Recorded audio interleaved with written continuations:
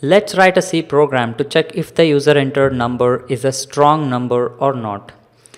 Well, strong number means sum of factorial of a number's individual digits should be equal to the number itself. Such a number is called strong number.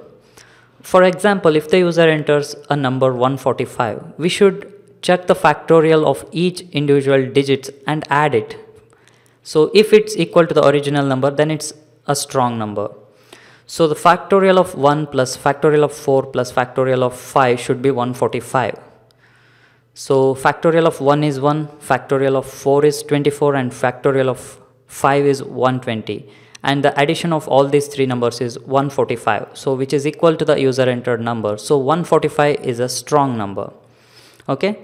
Let's program it using C language. Before going any further please check two other video tutorials we have published previously link to which is present on your computer screen right now. So if you go through these two video tutorials it will be very easy to follow up this this tutorial. So let's get started with our C program. I'll take a couple of variables. Number a temporary variable. Reminder and count for while loop. And fact to calculate factorial and sum to add all the factorial sum of all the factorials. So I'll ask the user to enter a number and store it inside the address of variable num.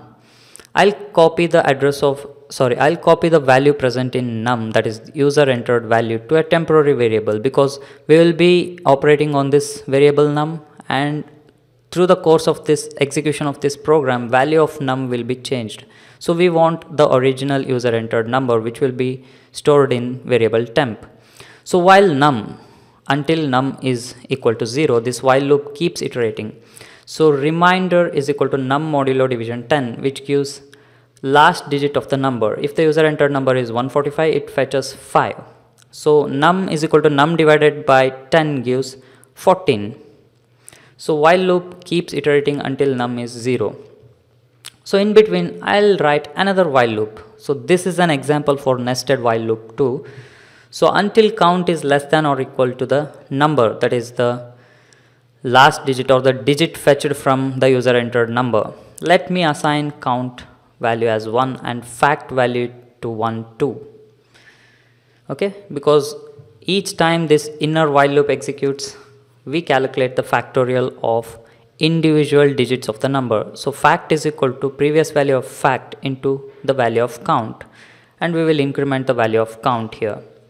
So outside the inner while loop we will print factorial of individual digits as and uh, when we calculate it. So factorial of we calculate the factorial of reminder that is the individual digits being fetched fetched so factorial is present inside variable fact. So next thing is we add it. So sum is equal to, we have the variable sum here. So sum is equal to the previous value of sum plus fact.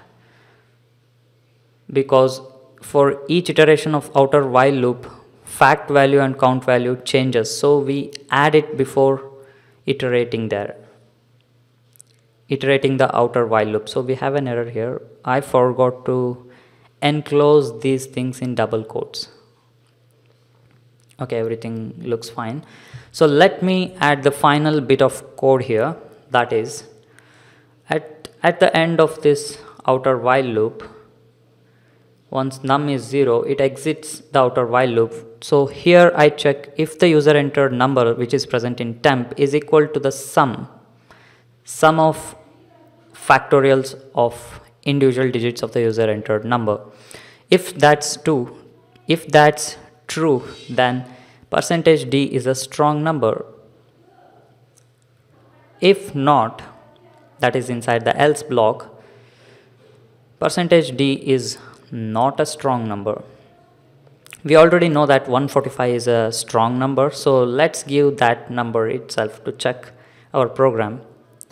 So factorial individual factorials are given 120 plus 24 plus 1 is 145 so it's a strong number so let's check a number which is not a strong number 140 maybe so 24 25 26 it's not a strong number okay So please visit the link present in the description section of this YouTube video for source code, notes, explanation and discussion about this topic.